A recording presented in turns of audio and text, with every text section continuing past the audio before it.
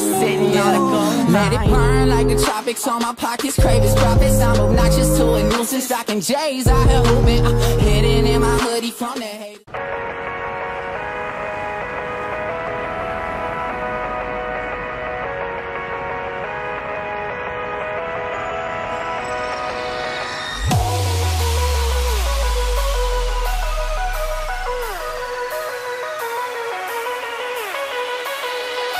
¿Qué pasa chavales? Soy Basu y aquí estamos, nuevo vídeo para el canal, nuevo trucazo en Black Ops 3 Zombies, mapa de Day and Raid Y esta vez chicos os traigo un nuevo truco para poder ser completamente inmortales, poder pasar rondas infinitas Y aparte, como estáis viendo, básicamente hacer una barrera con los zombies Aparte, con este truco chicos, vamos a poder matar a los Panzers, que muchos de vosotros siempre me preguntan por ellos Y con este método vamos a poder matarlos, ¿vale?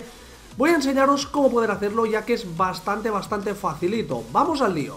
Lo que vamos a tener que hacer chicos es venir aquí a la zona de la pirámide y esperar tener la gravedad lunar activada. Una vez activada vamos a tener que subir exactamente en el pilar donde me acabo de subir yo. Aquí tenéis la ubicación perfectamente y subirse no es nada complicado.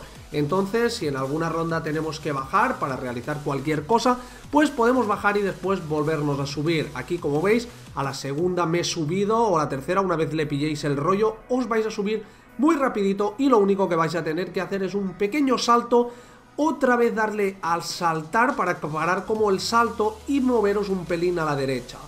Una vez ahí, como estáis viendo chicos, está muy chetado porque podemos matar a los Panzers, una cosa que siempre me preguntáis, preguntáis en todos los trucos.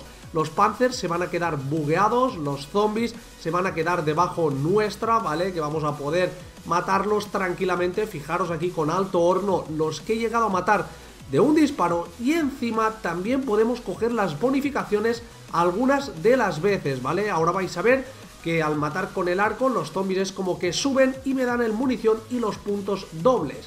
Y nada más chicos, deciros que vuestro amigo también se puede subir en el otro pilar que hay en el otro lado, pero cuesta un poquito más, si no pues un amigo puede hacer las rondas abajo y uno arriba y podéis llegar muy lejos. Espero que os haya gustado, recordaros que hoy va a haber muchos trucos, o sea, va a haber eh, algunos vídeos más, va a haber un vídeo más de multijugador y una cosita que os va a encantar y nos vemos en el siguiente vídeo. ¡Chao!